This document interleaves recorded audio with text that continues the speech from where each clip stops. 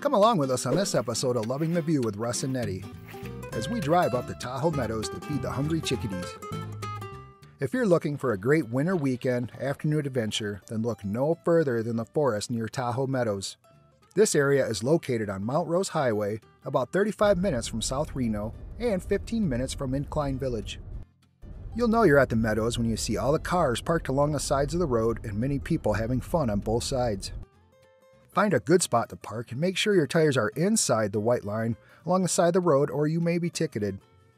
Netty and I decided to come up here to do some snowshoeing and to also do another local favorite, which is feeding the little chickadees. It's wonderful. It's beautiful. Yeah, it is.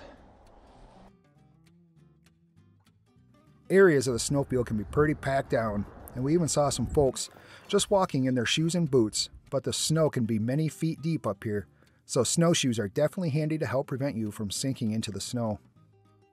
For example, this is Netty trying to walk across the snowfield without her snowshoes. You can definitely sink pretty deep into unpacked snow. One of the cool things we found here were the well-groomed cross-country ski trails throughout the area. What do you think, Netty? I like it. That's beautiful out here, isn't it? It is beautiful. There's a lot of people out here too. Yeah, a lot of people enjoying it. When you come out here, there's trail etiquette signs that will let you know which side of the trail that you need to be on. This area is also a popular location for a spot called Chickadee Ridge. Chickadee Ridge. This is a really nice spot. Great views up here. Yeah, they are.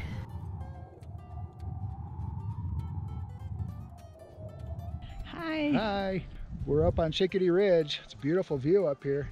You see like Tahoe in the back? Yeah, it's amazing. Over on this mountain, you can see the freestyle. Is, it, Freestyle skiing, I guess. is that yeah. what it's called? I don't know.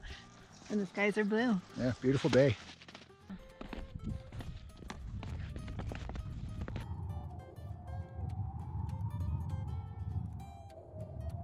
If you're wondering if you have to hike all the way to Chickadee Ridge to find the birds to feed, you definitely do not. All we had to do was trek into the forest a bit. I see a spot in that clearing that might be nice. Want to try that? And as soon as we started hearing the little birds singing, we were able to start feeding them. Oh. Jeez. Now, now they're not going to. We found out that the birds seem to like the nuts the best, and they would often just sort through the mix in your hand and throw out the stuff they didn't like.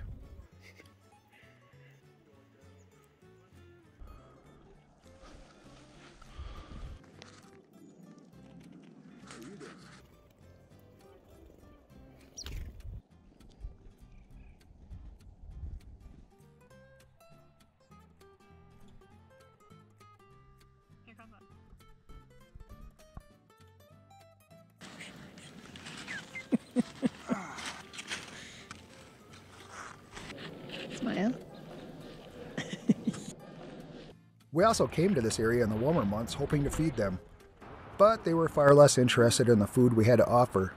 A couple of us just decided to lie down and enjoy the forest while we waited for them to come around. We're pretty sure the food sources are far more plentiful during the warmer seasons. And it's also great in the spring and summer for hiking along the many trails that run through here. But back to the snow. This fun spot is popular for winter activities such as sledding, cross country skiing, and snowshoeing. We also saw this snowman in the woods. Looks like a lot of people were having fun out here. It was such a beautiful day when we came out here. The skies were so blue and contrasted amazingly with the white snow and green trees.